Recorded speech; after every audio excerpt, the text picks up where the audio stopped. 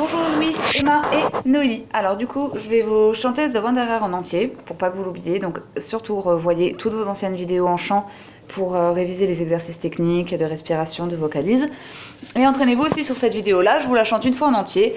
Euh, vous connaissez tous les moments où vous arrivez, les moments où vous ne chantez pas. Donc je vous fais confiance, entraînez-vous bien. Je le fais en entier pour que vous ayez un support à travailler. Pour la rentrée, il faut que ce soit connu par cœur. C'est parti.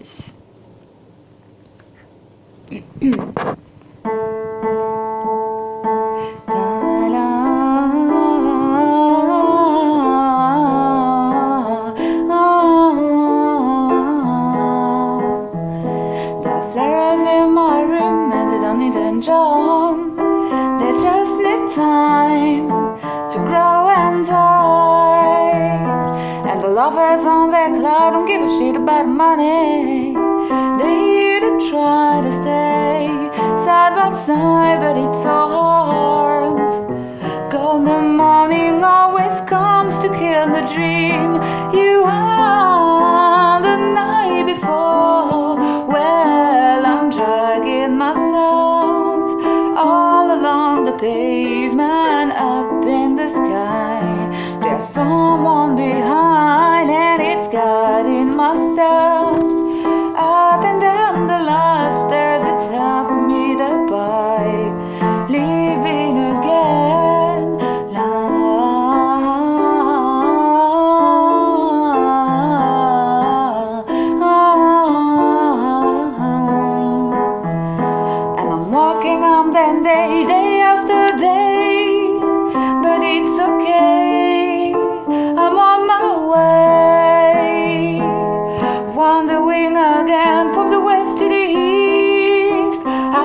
resist, but it's so hard not to fall. Golden morning always comes to kill the dream you had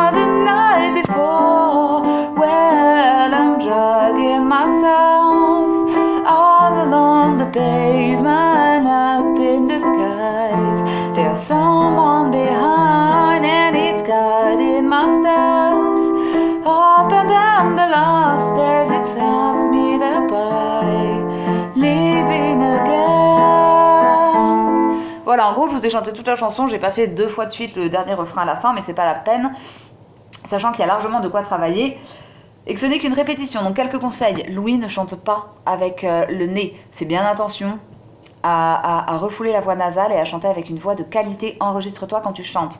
Emma, focalise-toi sur ton articulation en anglais, ta prononciation s'il te plaît. Euh, fais quelque chose de doux, pas the, non, to kill the dream, pas the dream par exemple. Fais attention à la prononciation. Et enfin Noélie, attention à la justesse de ta voix. Voilà, travaillez bien tous les trois, on se voit la rentrée.